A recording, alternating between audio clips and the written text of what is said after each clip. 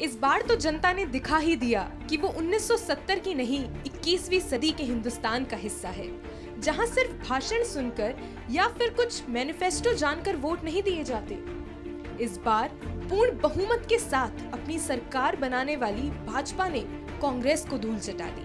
2014 से ज़्यादा सांसद लाकर भी 2019 में कांग्रेस को करारी हार का सामना करना पड़ा और हार की ज़िम्मेदारी लेते हुए राहुल गांधी ने कांग्रेस वर्किंग कमेटी में पार्टी अध्यक्ष पद से इस्तीफे की पेशकश की, जिसे नामंजूर कर दिया गया।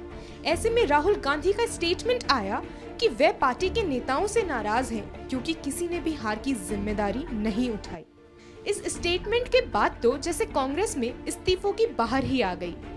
करीब पूरे देश के कांग्रेस कार्यकर्ताओं और अधिकारियों ने इस्तीफे भेज दिए हैं, जिसमें कुछ वरिष्ठ नेताओं के नाम भी शामिल हैं, जैसे कांग्रेस महासचिव दीपक बाबरिया।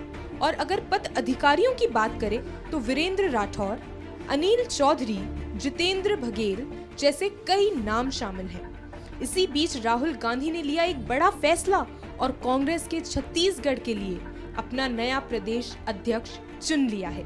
कांग्रेस अध्यक्ष राहुल गांधी ने दो बार रहे विधायक मोहन मरकाम को छत्तीसगढ़ प्रदेश अध्यक्ष कमेटी का अध्यक्ष बनाया है।